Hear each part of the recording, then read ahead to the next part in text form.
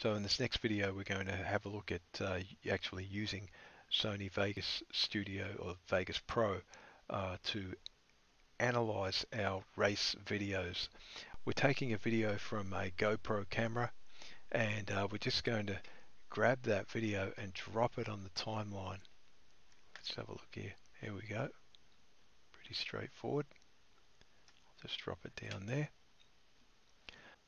So yeah, we just drop the video on the timeline and then we just click on the video anywhere we like. And we get a look at that frame.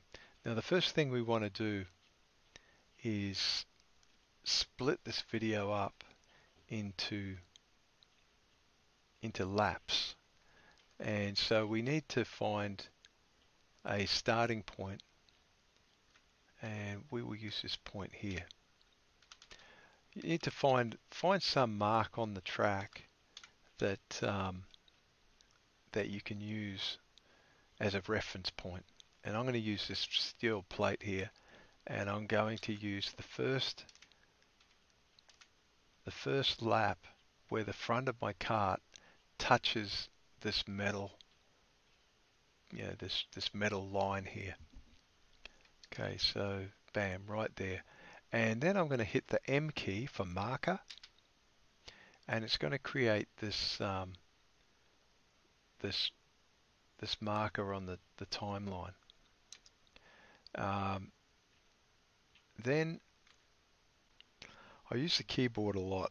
Left and right cursor keys will step you one frame at a time through the video like this. One frame, one frame, one frame. That's the right cursor key, which step forward. And the left will step you backwards, one frame at a time. Very handy. Uh, the up arrow key will zoom you in and zoom you out. You can see here, I'll zoom right out and see I can view the entire the entire race. When you hit hold the control key key down and use your arrows, it will jump between markers. And this is why it's important to get these markers set up. Alright, so control left and right will jump forward and backwards by one on the marker, putting the cursor on the marker. Let's get a few markers up and then you can see how you can use this to measure lap times. Okay, so we've got our first marker. I'm going to zoom out and I'm going to step forward through the video.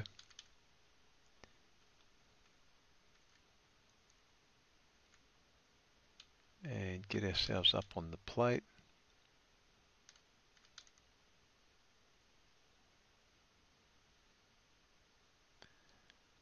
Just moving through in slow motion here. Alright here we are back at the plate Okay, and we're going to go just where we touch it and we're going to set another marker. Alright, so now I have two markers, marker 1, marker 2, and uh, I'm going to hold the control key down and hit the back arrow and it'll jump me back to marker 1 and hold the control key down and hit the right cursor jumps me ahead to marker 2 so the left and right cursor you can see me jumping through the film now if I hold the shift key down as well, so control and shift while I'm while I am on marker 1, and then tap the right cursor key, it selects the entire region between the two markers. And now what happens is the um, the selected area is reported down here on the bottom right corner of the interface and it's showing me a 27.327 so it's telling me that it, this uh, lap time this the the delta if you like between uh, the first crossing of that plate and the second crossing of that plate was 27.327 seconds apart. Now if I right click this little report here we can choose uh, how we want to see. So want to go to seconds.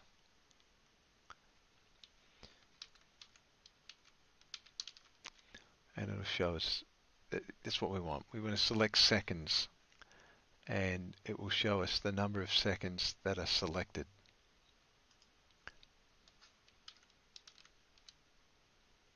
Okay, so that's our first uh, lap down. Um, so if I select that row on the timeline of the video, and I can hit hold control down and hit C for copy and it will copy that lap. Now I can um, move to the first or the second marker and select and open um, area and paste just and it'll paste that lap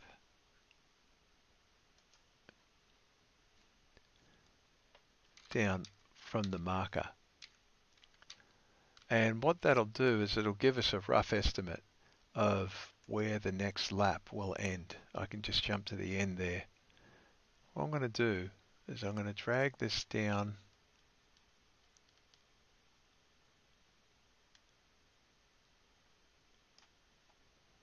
on the timeline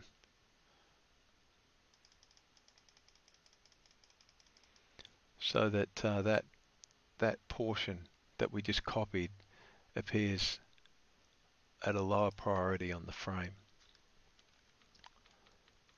And I'm going to now use the cursor keys to step back in time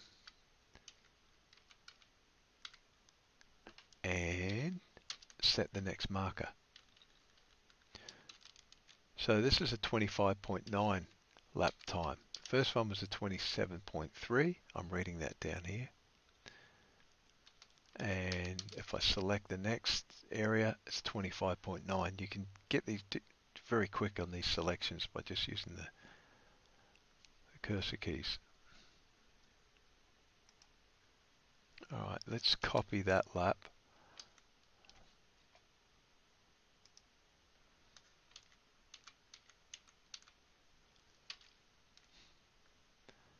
paste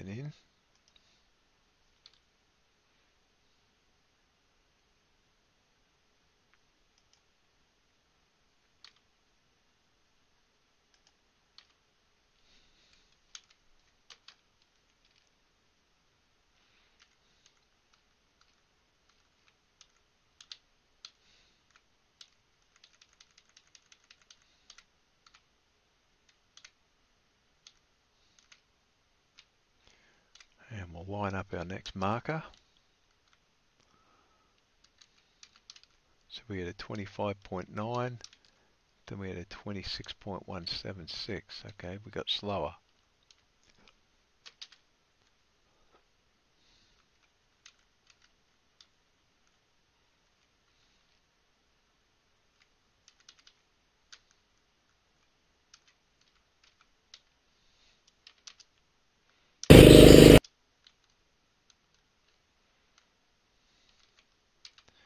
Okay, so we're just going to use that um, that little portion that we copied to give us uh, a rough estimate of where the next lap will be.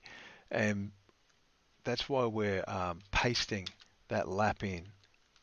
And then that sort of hyperspaces us forward in the video to a rough estimate of where the, uh, the next lap should be and usually our laps will get faster so we'll have to step backwards a few frames to set our next marker.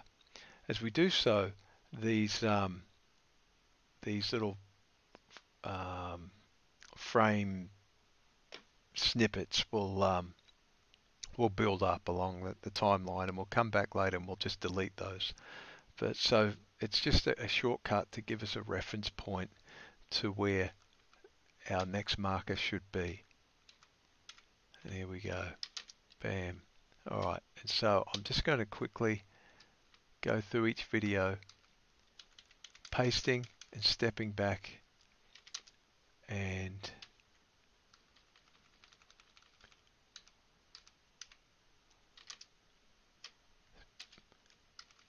and setting our markers. See how line is see really see really changed here going deeper on its turns. We're also getting a lot further up track. That was a good lap, that one. I think each session is about 20 laps long. That was a good lap. I think good laps because uh, we've been further up track.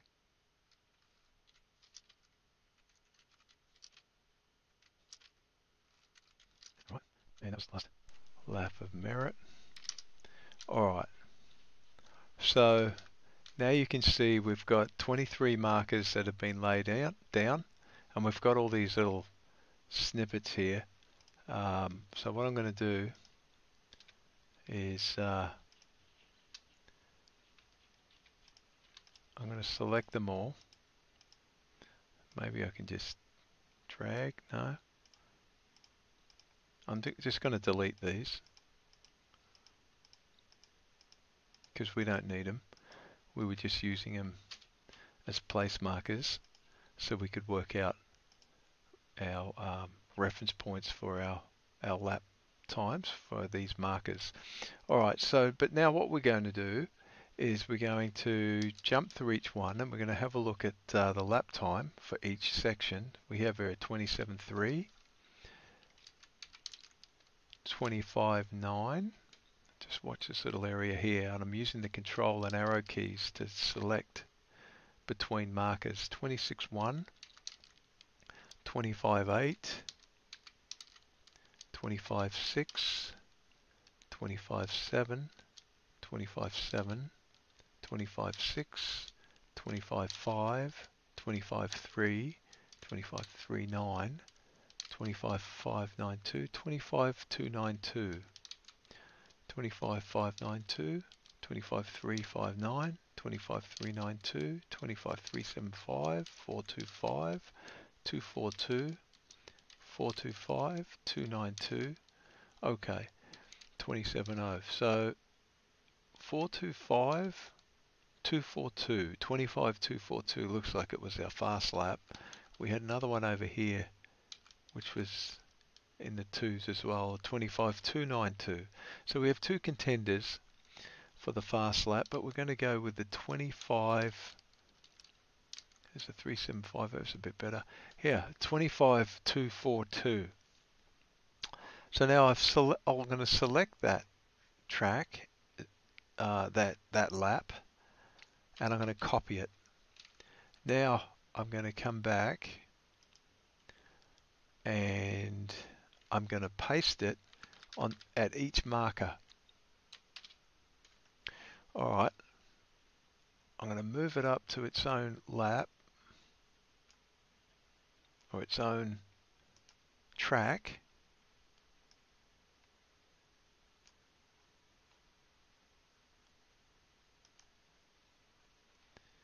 And we'll snap it in place. At the first marker. Okay. So now I'm going to create a picture in picture and what we'll do is we're going to edit this section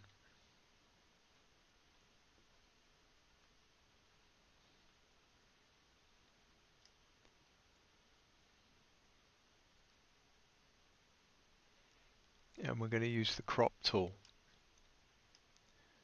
We're going to position that into the bottom right corner of the viewable zone.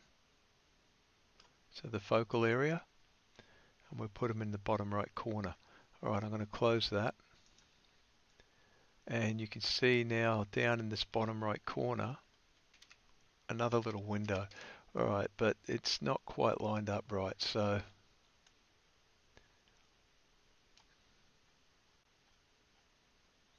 Let's position it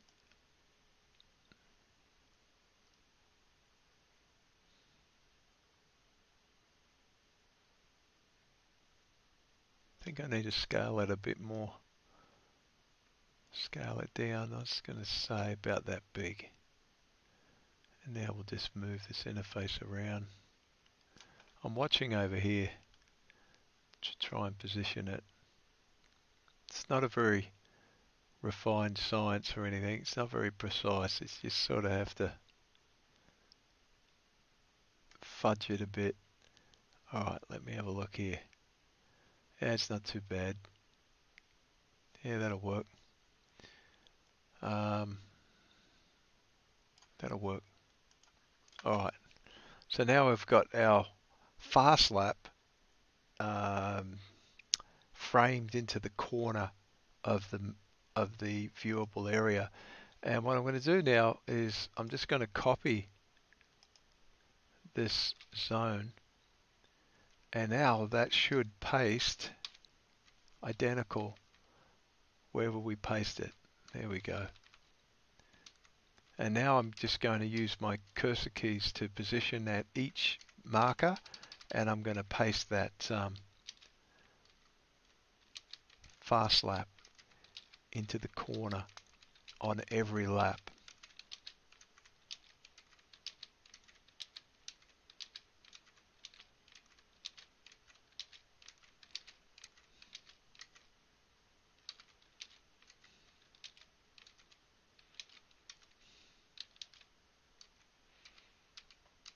Alright, there we go. Just using the cursor keys to navigate around now. Now we can go to any particular lap we want. Let's um, go to this one. It was a 25659. And let's have a look at where on this lap did we lose our time. Now we can step through one frame at a time and we can use marks on the track as reference points to see where we might be behind in time. Let's go through to the back straight and here we have a clear border. And we've lined the front of our card up here and we can see on our fast lap we were one frame faster on this on the fast lap. So doesn't tell us a lot yet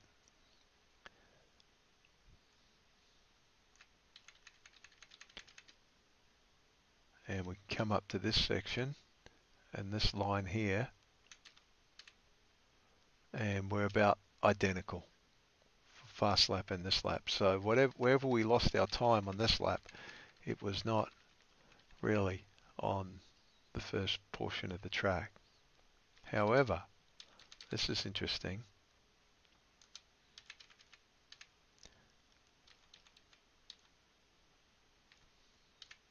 You can see here we've hit this middle line and we're one, two, three, four frames behind.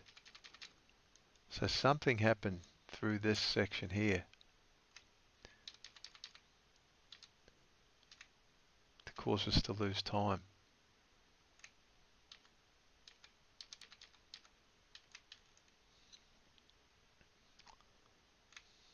Let's see what happens on this line.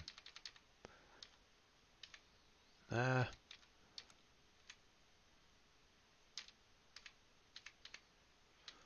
oh, it's sort of caught up again. It's not clear. Anyway, this is the process that you use. You go through the, the each lap, go through the race, and you measure your fast lap um, image versus your um, you know racing lap, whatever you want to call it. We can see we were pretty damn close.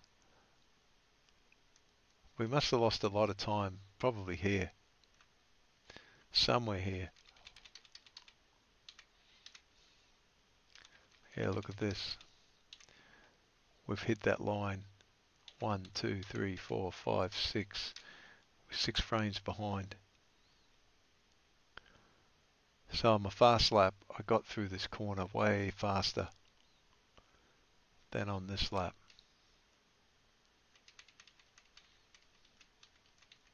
And that's probably because of some form of, probably had extra traction and some uh,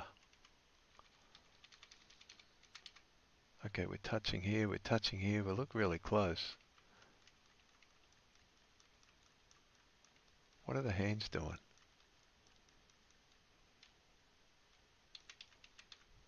touching there.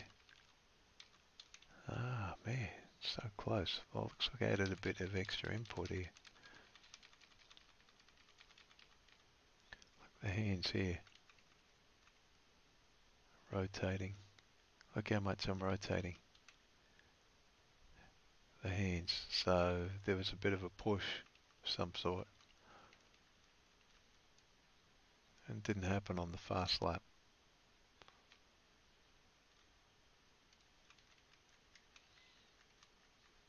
Turn earlier.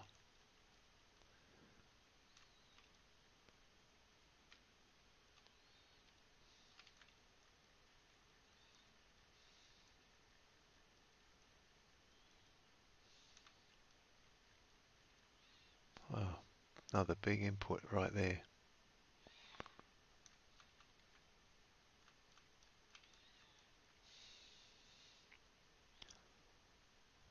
Feeling that by the time we get here, I'm way ahead. 1, 2, 3, 4, 5, 6, 7, 8, 9, 10, 11. So we're 11 frames behind and all of that time was lost through here.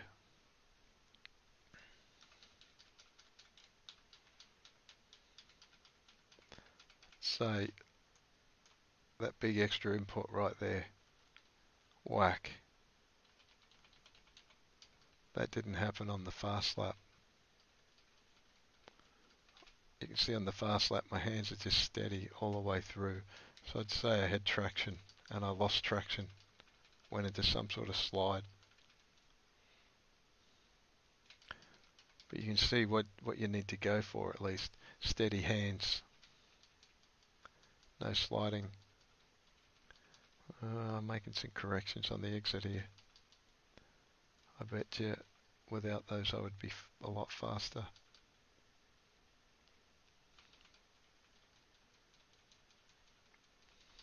So, um, so that's it. That's how you use your. That's how you use Sony Vegas Studio uh, to to do race analysis. Um, there, you know, there are other things to look for, like, uh, but that's how you get set up, at least. So I might continue this video or this series and uh, we'll have a look at what are some of the things that you can look at uh, in your laps, in your races. Uh, what are some of the things you can measure to see, um, you know, what you can be doing better while you're on the track. Uh, you know, where are you losing time? Where are you gaining time? And you know, what's happening when you're doing your best laps versus the laps that you're losing time and um, you know what sections of the track can you focus on um, to improve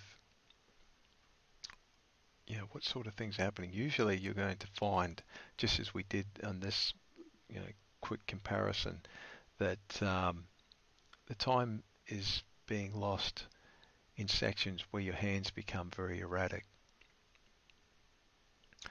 uh, usually where you're trying to compensate for some sort of sliding. Anyway, that's uh, Vegas Pro with um, with a GoPro video and how we can set up Vegas Pro to do race analysis.